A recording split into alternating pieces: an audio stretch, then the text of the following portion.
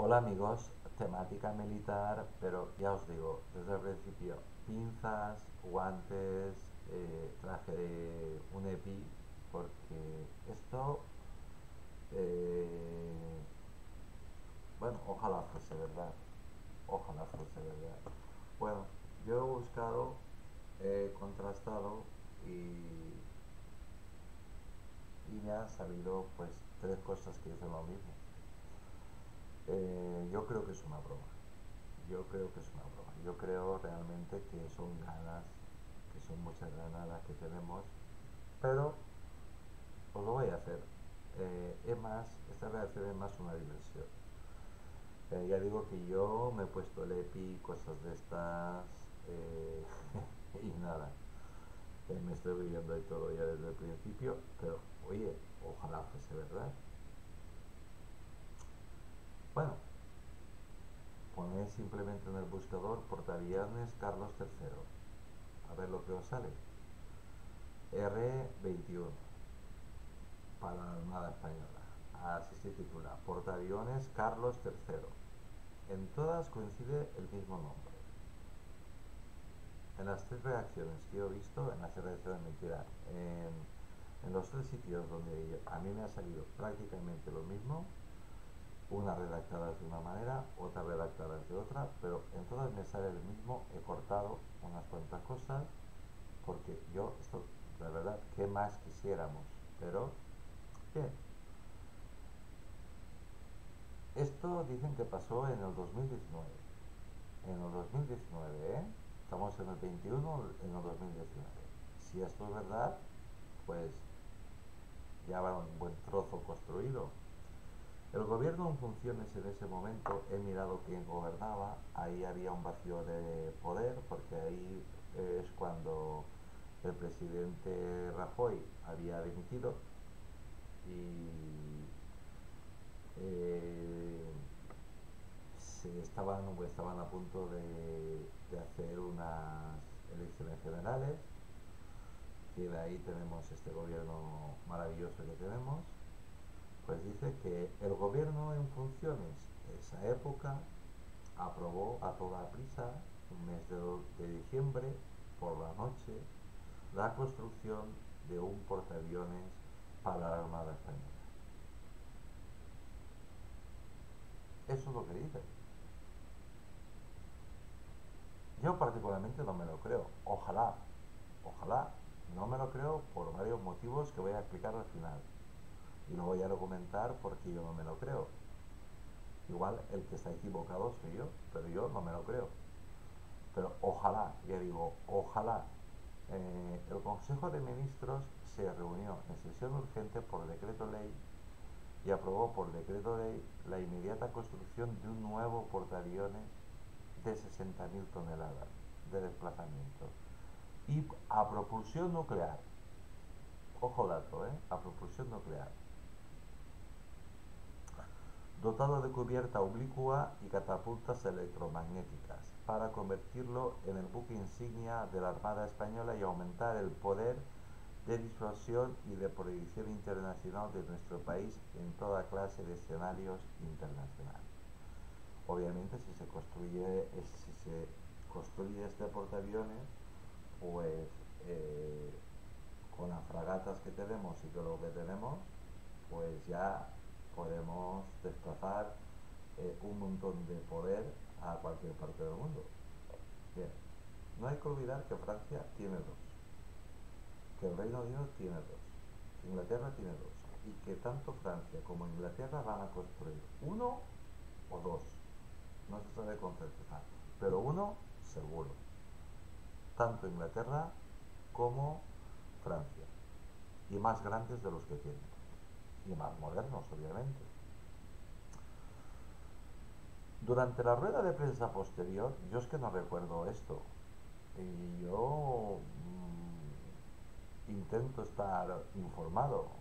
En el Congreso de los Diputados, yo tampoco lo recuerdo, la portavoz del gobierno en funciones ha dado a conocer el nombre del nuevo buque que será el de Carlos III R-21.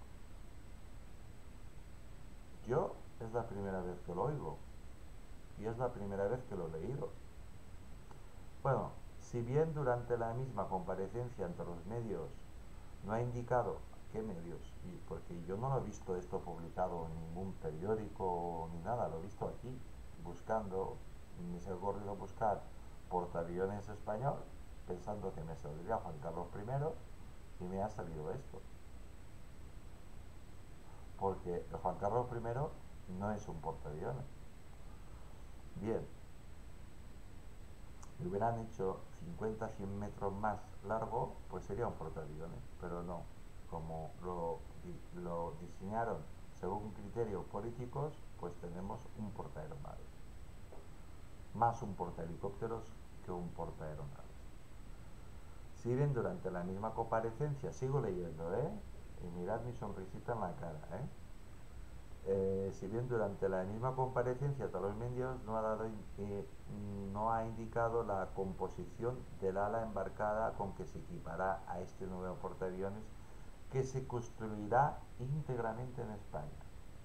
Oye, pues muy bien, si se construye en España, mucho mejor. Tecnología tenemos, medios tenemos, sabemos construirlos. Pero, ¿y el dinero? ¿De dónde sale el dinero? Bueno, esto ya vendrá después. No obstante, algunos expertos que expertos ya están indicando que se deberá de realizar un, curso, un concurso público en el que se decidirá el modelo de avión que dotará al ala embarcada que será la futura punta de lanza de las Fuerzas Armadas Españolas. Bueno, en estos momentos, en estos momentos en el siglo XXI hay poco donde elegir, muy poquito, muy poquito porque nosotros no le compramos nada a Estados Unidos. Bueno, con dinero se puede comprar todo. Yo siempre lo he dicho. Si hay alguna cosa que le gusta a los Estados Unidos, es dinero. Si algún banco o, alguien que tenga muchísimo dinero quiere comprar los planos del General, del General Ford ya puestos,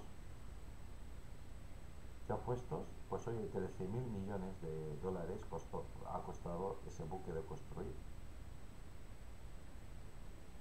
pues bien, den los planos eh, ya bien hechos eh, cuando han conseguido que flote ese barco recto y que no se vaya a la derecha o a la izquierda, a babor o a estribor, que les ha costado Dios de ayuda. Bueno, pues yo voy a seguir esto y yo creo que como hay tan poco para elegir, pues este buque obviamente iría pues con Eurofighter Typhoon, hace falta otro avión que no tenemos o lo fabricamos. Ya, un avión es muy fácil de fabricar. Nosotros tenemos tres para que los conocemos muy bien. El F-18 Hornet, el Eurofighter Typhoon E españolizado totalmente, y el Mirage. Pues no hace falta ir muy lejos. O se construye un avión español, o sería el Eurofighter Typhoon, el Rafael M y el futuro Eurofighter naval. Creo que mañana o pasado mañana va a salir el Eurofighter naval aunque, aunque esta última decisión dependerá del presupuesto que asigne a dicho programa la, de dotación de futuras aeronaves embarcadas, si bien el superávit que ha terminado el balance de la economía española. Bien, en aquella época había superávit, es verdad, España tenía dinerito. Si fueron inteligentes, cosa que no creo, cosa que no creo, pues harían un apartado muy grande de dinero para construir un portaaviones. Estamos hablando de un portaaviones medio, de medio grande, pero no como los que se están construyendo ahora, que llevan 90 aviones. Este llevaría como muchos 60. También informan desde el Ministerio, yo no he oído ninguna información desde el Ministerio de Defensa, que ya se ha previsto eh, conseguir una primera inyección presupuestaria de urgencia gracias a la inminente venta al Reino de Marruecos de dos buques anfibios del, tipo LPD usados hasta ahora por la Armada, con los nombres de Galicia L-51 y Castilla L-52. Concertada el pasado año, lo que permitirá, estamos hablando de los 18, que, que permitirá empezar a ahorrar costos en la flota y dedicar ese remanente presupuestario como inyección monetaria para la necesaria fase de estudio inicial previa a la construcción del futuro portaaviones español. Yo creo que esto, eh, yo creo que, yo de verdad que yo esto no me lo creo. Ojalá me esté yo equivocado. Eh, yo creo que es una broma, de verdad. Por otra parte, ya se, pero hay que divertirse también. Eh, pero por otra parte ya se ha iniciado eh, contactos con la industria francesa, estadounidense y, y norcoreana para estudiar los distintos reactores de propulsión nuclear disponibles que mejor se adapten al modelo de portaaviones CVN español destacando la voluntad del gobierno para que realice la necesaria transferencia tecnológica, industrial y científica para que se construya nuestro país y que sea lo más ecológico y verde posible con el fin de ajustarse a los acuerdos. Yo no me creo nada, de verdad, ¿eh? eh según fuentes oficiales, empezará a construir en el 2019 por la empresa nacional Navanti. Bueno, ¿quién va a construir un buque? Navantia. Las obras durarán cinco años a partir de la fecha de inicio, pues si se empezó en el 19, el portaaviones pues ya está muy avanzado. bueno, los astilleros de Ferrol llevarán el grueso de las obras, la estructura, mientras que diversas piezas se fabricarán en Cádiz y Cartagena. Mucho trabajo por los astilleros. Mucho trabajo, mucho trabajo será una copia en tamaño del R91 Charles, francés Charles de Gaulle de 42.000 toneladas de desplazamiento, pero con algunas mejoras técnicas. Obviamente, si se construye ahora, pues debería de llevar lo mejor de lo mejor. Y costará aproximadamente unos 3.000 millones de euros como el RI 91 si es mejor, lleva más tecnología, pues no va a costar aproximadamente lo mismo, va a costar el doble, 6.000. Aquí ya, ya se ve el plumero.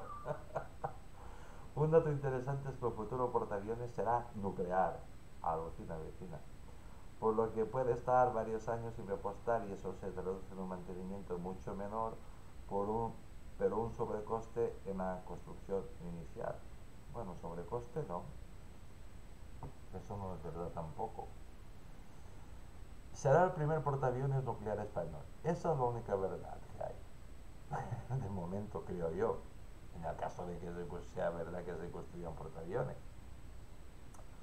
Pasaremos entonces de tener el LHT L-61 Juan Carlos I de 26.000 toneladas, técnicamente es un portaaviones ligero multipropósito y buque de asalto pesado, no un portaaviones puro como el R-11 o el R-91, no, no es un portaaviones. Nosotros le llamamos portaaviones, pero no es un portaaviones. Es otra cosa, yo no sé cómo llamarlo, es verdad que lleva, que lleva aviones, es verdad que lleva helicópteros, pero yo creo que es más un portahelicópteros, un buque de transporte, yo no sé exactamente cómo denominarlo, la verdad, no sé exactamente. Es un buque imponente, es el más grande que ha construido nunca jamás la Armada Española. Esto sí que es verdad, porque esto existe, pero Carlos III no. Junto con un nuevo portaaviones de 42.000 toneladas, posiblemente se llamará Carlos III. En eso coinciden las tres fuentes que yo he consultado en el nombre Carlos III.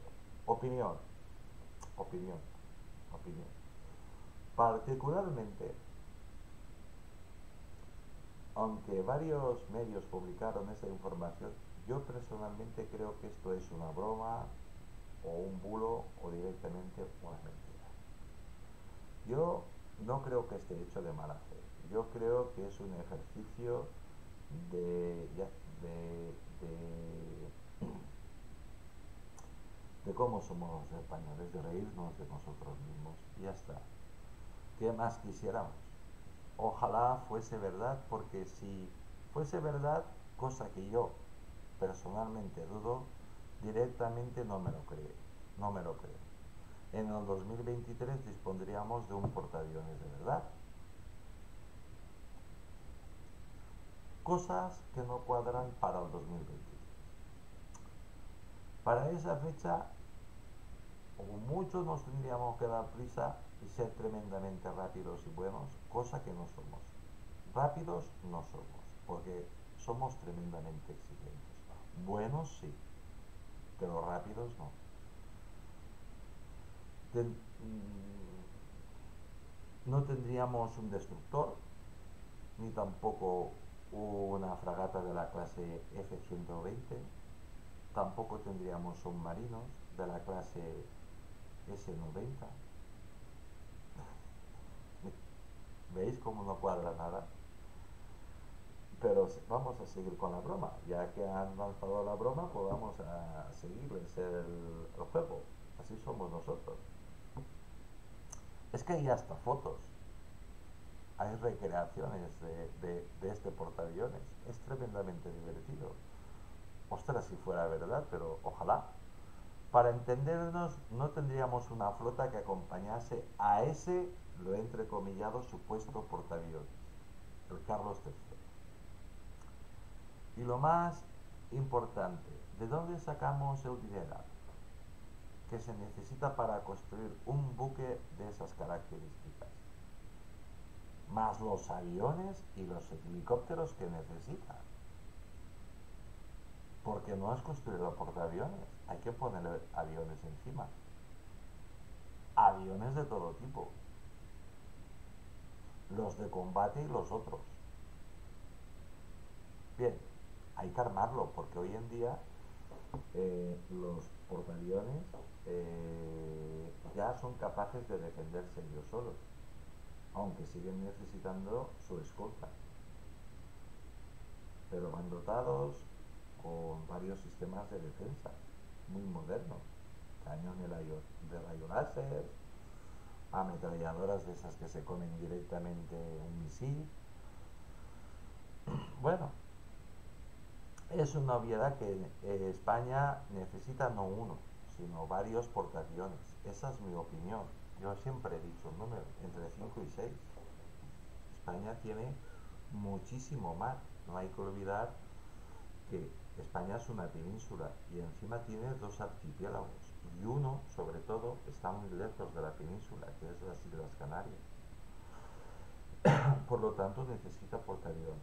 Y los necesita de verdad. Cada cosa lo que sea.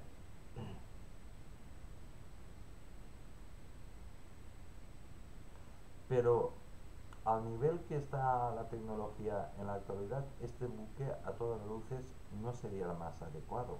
Y conociendo un poco a nuestra, a nuestra gloriosa armada, no optaría por un portaaviones de este tipo. El día en que podamos construir un portaaviones, construiremos pues el mejor y por supuesto con todos los buques necesarios que necesite este portaaviones. Vamos a ver, todo lo que tenemos aparte, y aparte el portaaviones más la flota que acompaña al portaaviones. Todo lo que estamos construyendo, eso es aparte. Eso es la Armada Española. Y aparte, dentro de la Armada Española, pues hay una flota que sería la del portaaviones. Pues vamos a ver qué necesitaría este portaaviones. Me voy a permitir hacer un repaso de cuántos buques necesitaría este portaaviones. Y ya puestos a alucinar, pues vamos a alucinar. Vamos a alucinar que sacamos el suficiente dinero, porque con dinero se tiene todo. Se tiene todo. Pues vamos a comprar los planos totalmente actualizados, actualizados, ya perfectos, de el mejor portaaviones que hay, que se sabe que hay. Lo tiene Estados Unidos. Se llama el Gerald Ford. Pues nosotros lo único que necesitamos son los planos. Sabemos que ese buque, inmenso buque, va a estar 50 años en el agua, sin tocar puerto. Si toca puerto, es porque tiene problemas. Porque esos buques son aprevisionados en el mar. Comida, combustible para los aviones, ropa, munición, absolutamente de todo. Por lo tanto, se necesita una logística impresionante. Vamos. ¿Qué necesitaría solo para protegerlo? De la logística ya voy a hablar, si queréis, de memoria. Cuatro destructores, que no tenemos. Mínimo cuatro destructores, para ser ideal, seis, que no tenemos.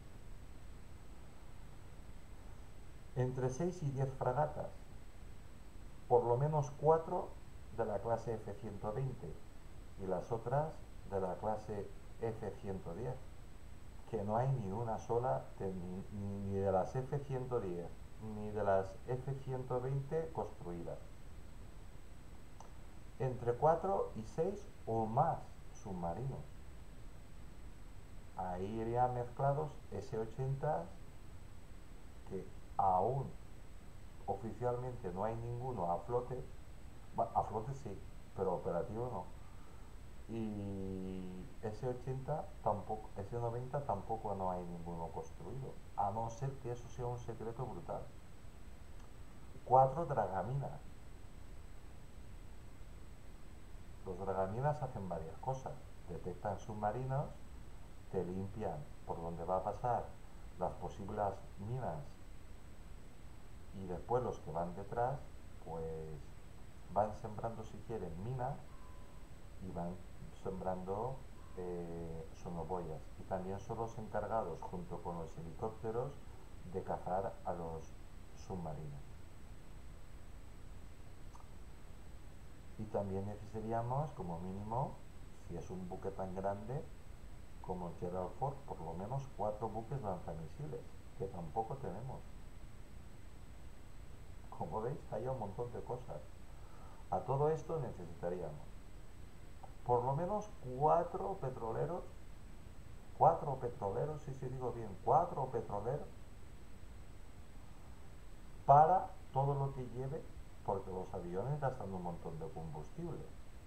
Entonces tiene que haber permanentemente eh, unos que van y otros que vuelven para que los aviones y los helicópteros y todo lo que te vaya con, con combustible, pues tenga combustible.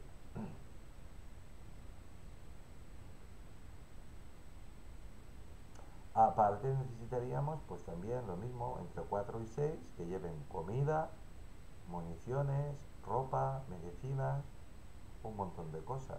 Esto es cuestión de logística. Y seguro que me estoy olvidando cosas. Ah, también tendría que llevar por lo menos dos buques eh, de estos que causan distorsiones, espías y que lo escuchan todo. Si llevan cuatro, mejor que dos.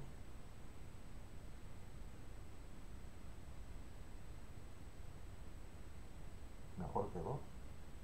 Y a ser posible un par de portahelicópteros.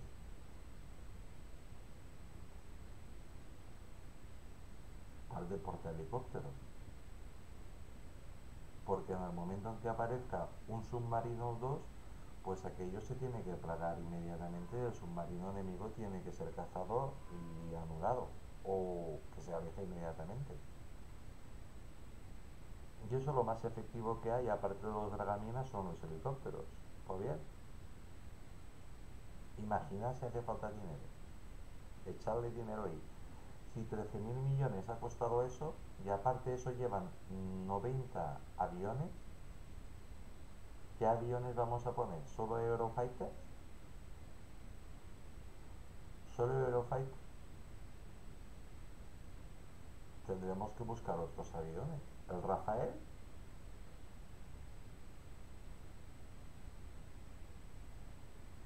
¿Vamos a recurrir a Rusia?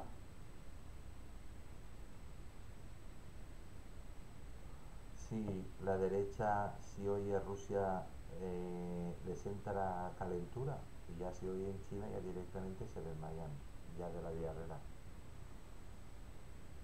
Bueno, eh, yo creo que es mentira. No es que creo, estoy convencido que es mentira. Estoy convencido de que es una broma o un sueño. Un sueño.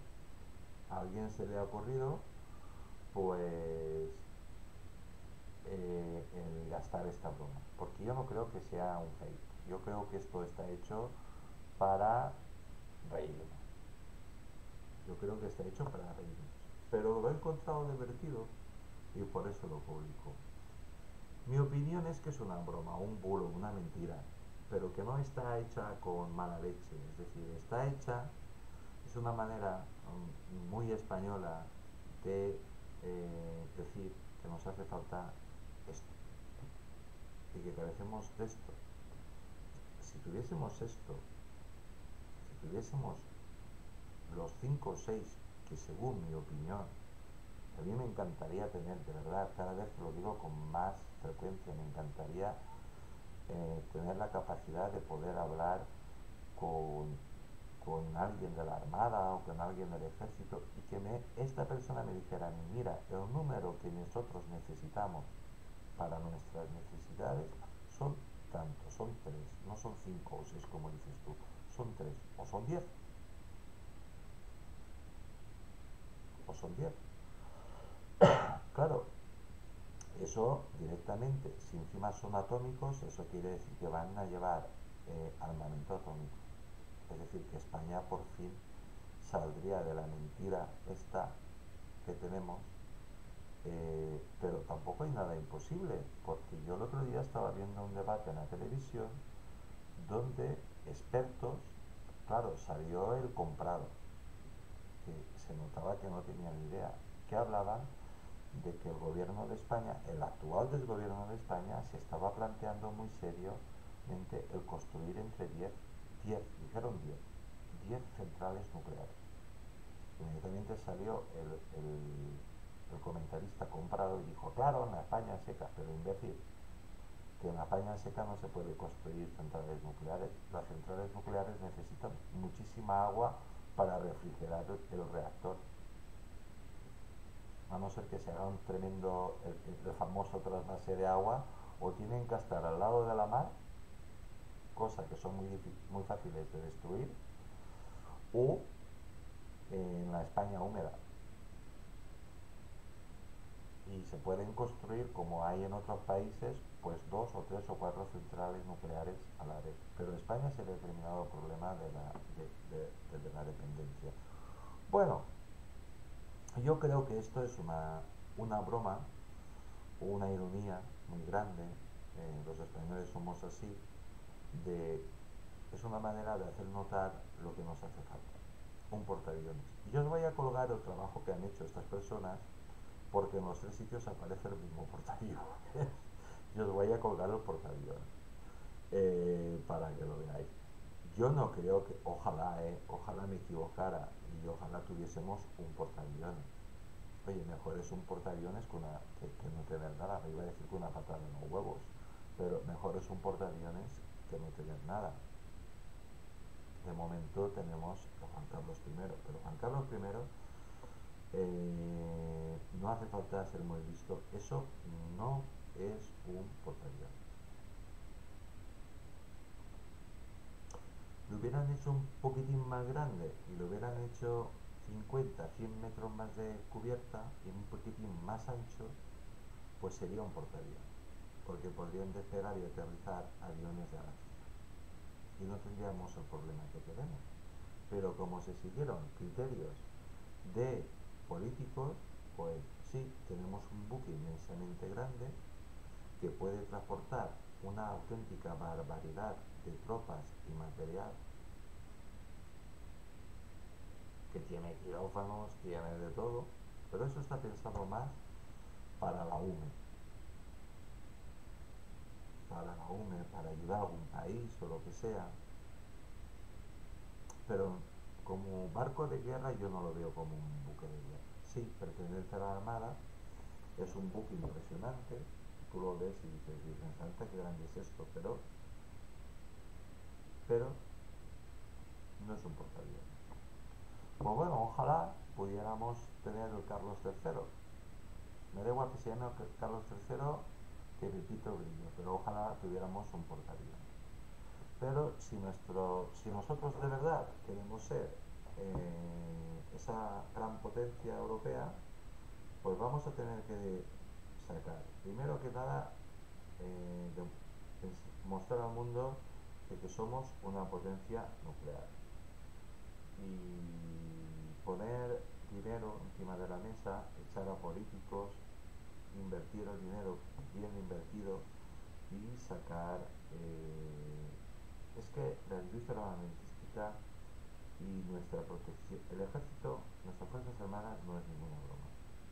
Tener por seguro que si no tuviésemos el ejército que tenemos, las fuerzas armadas que tenemos, en la actualidad nosotros como país no existiríamos. Porque Marruecos ya nos hubiera invadido. O, o otro país nos hubiera invadido. Y eso es una cosa que hay que tomarla muy en serio muy en serio. ¿Y que España tiene necesidades serias, armamentísticas? Sí. Sí. Y necesitamos sobre todo reforzar el ejército del aire, no hay que olvidarse del ejército de tierra, pero el ejército de tierra está bien. No está perfecto, pero está bien. Pero flojeamos mucho en el ejército del aire, que también está muy bien comparado con otros países, eh, y sobre todo nuestra Armada. Nuestra gloriosa Armada pues necesita eh, que salgan las F-110 lo más rápidamente posible, los S-80 lo más rápidamente posible y empezar a fabricar ya los S-90 que según he oído yo, no sé si será verdad o mentira, van a ser el doble de grandes y de anchos que eh, los S-80 y van a hacer muchísimas cosas y las fragatas F-120 pues también van a ser más grandes, mucho más grandes que las F-110 y van a hacer muchísimo más cosas. Pues bueno, cuando saquemos los destructores, pues entonces ya empezaremos a pensar en el portaavión. Yo eh, esto me lo tomo como una reacción divertida. Eh, como somos los españoles, con la sorna que tenemos los españoles. Pues ya que no tenemos un portaavión, pues nos inventamos al Carlos III. Oye, ojalá estuviera equivocado y estuvieran haciéndolo, porque si esto es verdad y pasó en el 19 y dicen que van a tardar 5 años, pues estamos en el 21, pues oye, dentro de dos años portaaviones. Bueno, yo no me lo creo, ojalá fuese verdad. Eh, y nada, eh, me imagino que cuando habréis visto el título, antes de ver la reacción, todo el mundo habréis dicho, bravo, por fin, por fin, por fin. O mucha gente habrá dicho, menudo gilipollas, pero en fin. Eh, hay que reírse, hay que reírse un poco de vez en cuando. Pues nada, amigos, aquí os dejo con el flamante nuevo portaaviones, Carlos III que va a llevar 60 aviones. Imaginaos, 60 aviones. Pero ¿qué aviones vamos a llevar, Dios mío? ¿Qué aviones vamos a llevar? Pues hasta aquí, amigos. Eh, hay que reírse, hay que reírse. Eh, ojalá, ojalá fuese verdad. Un abrazo muy grande desde Valencia, España que terminéis de pasar el día con muchísima salud. Soy Tony Garcés y que Dios os bendiga. Mañana más.